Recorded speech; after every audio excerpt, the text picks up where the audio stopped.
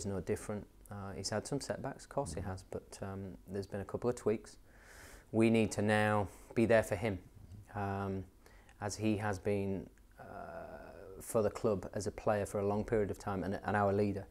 Um, we need to make sure that we have him at this period where he's doing some work to then kickstart and go on and beyond where he's already been to.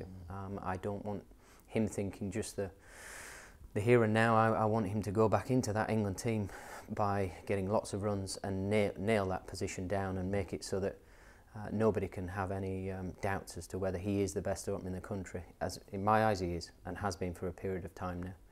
Um, we just need to afford him everything that um, he gets back to that place.